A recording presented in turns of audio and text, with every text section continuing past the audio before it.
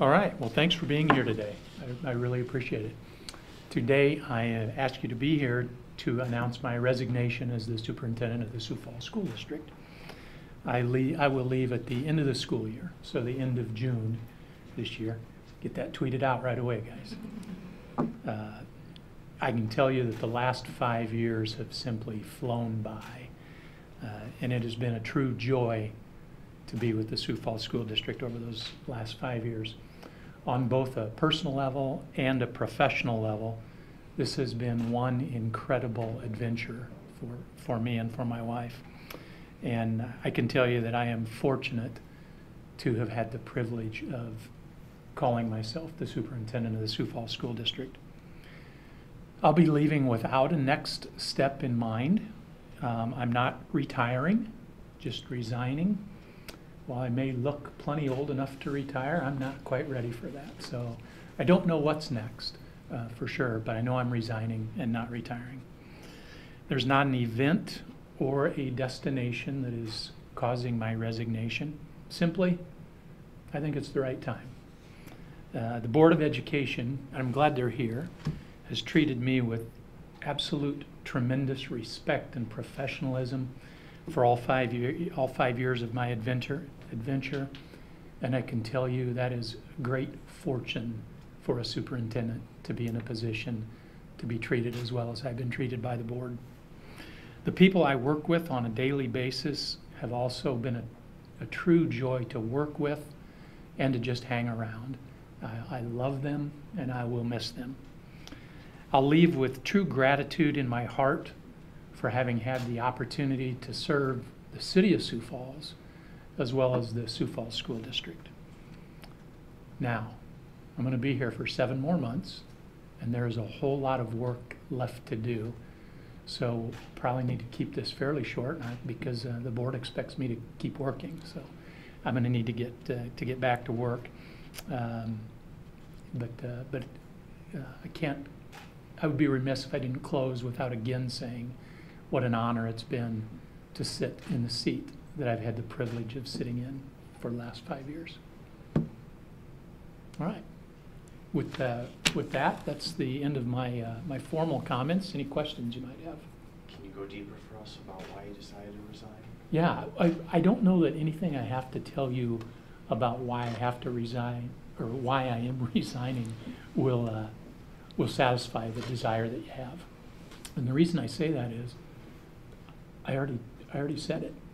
It- is, I think there's a shelf life for superintendents, and I don't know that it is a number, but I think there's a shelf life for superintendents. And, and in my history, this is my 21st year as a superintendent, I've seen many superintendents who have stayed too long, just a little bit too long, and I don't want to be that person.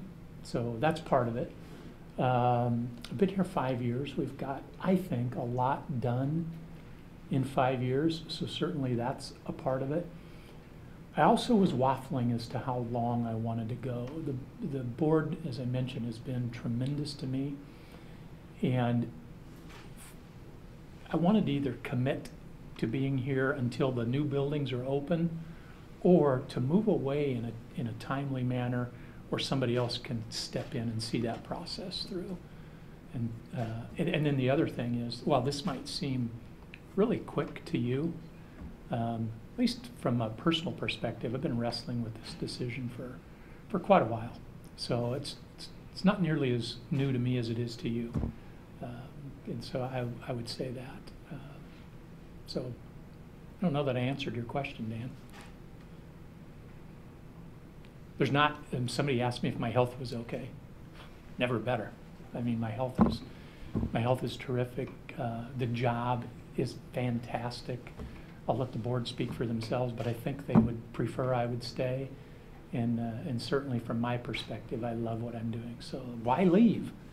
I don't know. That's a great question. But uh, I, the only thing I can say is what I said earlier, and that is simply, I, I think it's time for me to go.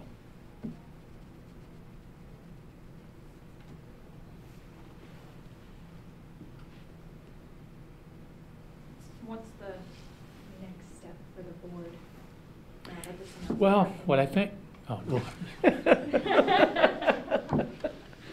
You bet. We, um, we will reveal what our process, this is new news to us, obviously, so we will reveal our process once we've determined as a board what we think will be the best process to do. Luckily, he's given us, and Dr. Maher's given us seven months to formulate that process and thoroughly vet um, candidates for the position.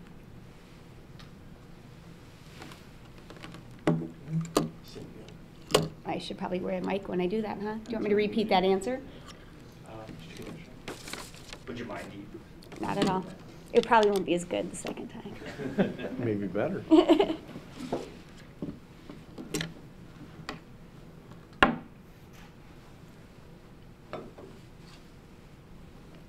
Just have your tweets out there because my phone is blowing up. I bet it is.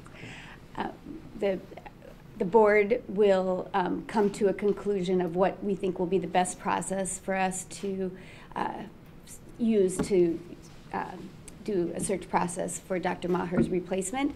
Since this is new news to us, we have not yet determined what that process will be, but as soon as we do, we will reveal that to the public. What is your reaction, Cynthia, to Dr. Maher's resignation? Yes, um, could I first read what I was gonna do, and then I answer questions, because it might answer that. First of all, I, Dr. Maher and Peg, we are so thankful for the four and a half years so far, will be five when it's concluded, that, of service that you have given to our district. The district's in a very strong position, thanks to all the hard work and the, and your ability to listen to the community. The strength of our district is our people, and thank you for forging the district in the, into this enviable position. We passed a $190 million bond with a yes vote of 84.5% and have grown new partnerships in our community to sustain our educational goals for our students and staff. Your leadership has been amazing, and your family is, to lucky, is lucky to have you back more, but this family is sad to lose you. But like any great coach, you have positioned us for success even after your tenure ends. The Board of Education will reveal our method for search process, which I had just talked to you once we have determined the best method to proceed. We will remain focused on all of our important goals for our students, staff, and community through this transition. Thank you. Thank you. Any other questions?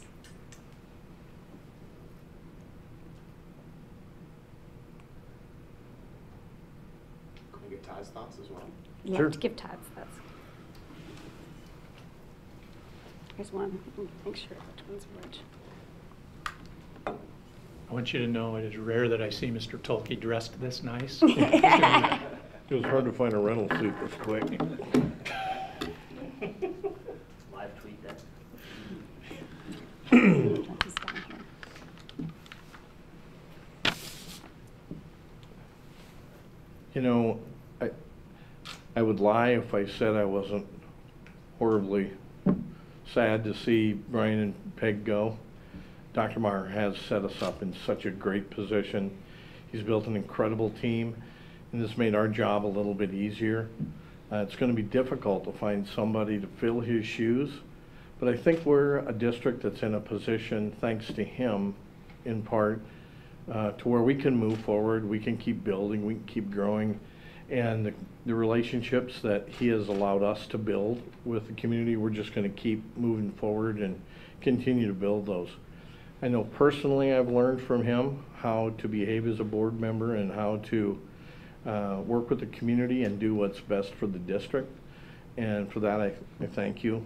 And uh, I think he and Peg were a beacon of light in this community for the last four and a half years, and I would expect nothing but um, greatness from him in, in the coming months until his final day here. So it's been a great, great person to work with. He has been a great person to work with.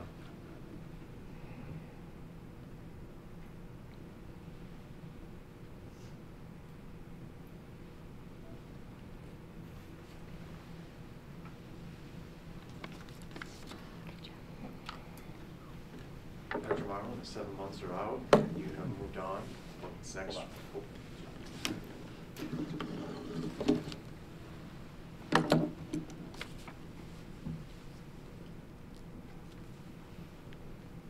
Am I gonna be doing in July? Is that what you? Yeah, I, I, I truly don't, I'm not being coy. I, there's not a next step for me. There's not a plan for me. You know, when I, uh, when I interviewed for this position, I had one grandchild. Today I have five. When I interviewed for this position, my hair was a little darker than it is right now, and I had a little more of it. So uh, I don't know that I can do anything about the hair, but I can spend a little more time with my, with my grandkids. So uh, that'll be a piece of it, but, um, I, but I really don't have a plan, and I don't intend to quit working. Uh, I'm not wired that way, so I'll, I'll, do something. I just don't know what it'll be, and I truly don't. Um, Mr. Thoelke, when we talked last week, said, "Come on, you got there's something kind of cooking there." There really isn't. There really isn't. So, uh, and that makes me a little nervous. So hopefully there'll be a little something cooking before too long. But um, I really don't have a plan. Uh, We may stay in Sioux Falls. We may move back to Nebraska. Um, I may take a year off. Um, I don't anticipate that I'll be a superintendent um, in a long-term situation uh, because if I was, I'd stay right here. I, I don't. I don't think there's a better superintendency than the one that I'm in right now. So it's not about looking for uh, greener pastures in terms of a superintendency. That's just not it. I was hoping realistic, oh, sorry. Sorry, I was just gonna, is there anything that sticks out in your mind in the last five years that, you know, your best memory, I guess, or anything like that? Single best, you know, probably passing the bond issue, um, just because of the long-term impact it'll have on this community. Um, so that, that's probably the single best. Um, as you were framing that question, though, my mind went to uh, the development of a strategic plan. Uh, when I became the superintendent of the Sioux Falls School District, it was a district that was already outstanding. It didn't become outstanding because I came here. This wasn't a fixer-upper, I think I said when I first came here. It was a, it was a, it was a district that was already tremendous. It was mission-driven, it was goal-oriented, uh, but we formalized a strategic plan, and we use that every couple of weeks at the board level, and we use that a great deal in our planning processes um, from a school district perspective. So uh, I think that's really important. Um, you know, when I first got here, I got thrown onto the Blue Ribbon Task Force. So the statewide impact too was something I didn't anticipate. You know, from there I became a member of the, and I actually chaired the South Dakota High School Activities Association Board of Directors. Um, I'm currently the Federal Relations Coordinator for the state, so the statewide impact was something I didn't anticipate. Um, then you drill back down to the strategic plan, the graduation rates. Um, I'm, I'm very pleased with uh, many of the things in our strategic plan where we're meeting the mark. Really pleased with a, a number of those things. So I'll, I'll, have another seven months to reflect on those, but those are just quickly some of the things that I'm thinking about.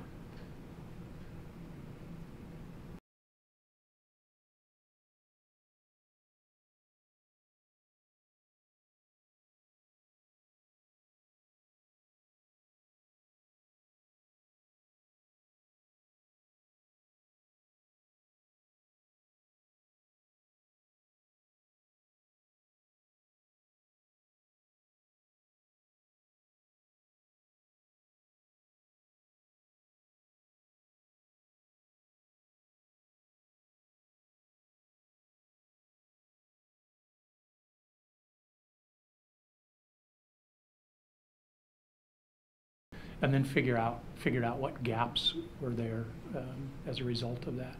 I would hope the next superintendent would do something similar. They don't certainly don't have to act like I acted, but to figure out that uh, this isn't a place that needs fixed, but yet it's a place that can be improved. So I, I promise you, I'm leaving plenty of gaps for the next superintendent to fill. Uh, but there are also a ton of good things in place uh, to, to to begin with.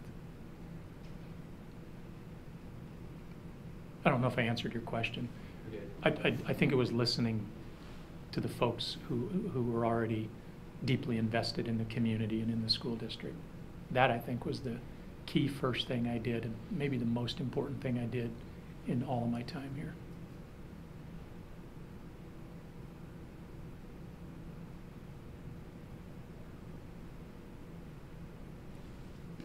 All right, well, some of you are here in preparation for the board meeting tonight. If you, if you want to shift to that, if you don't have any other questions on this. Let's do that. Thank you. Thank you. Thank you. I think Andrea has a letter that she'd like you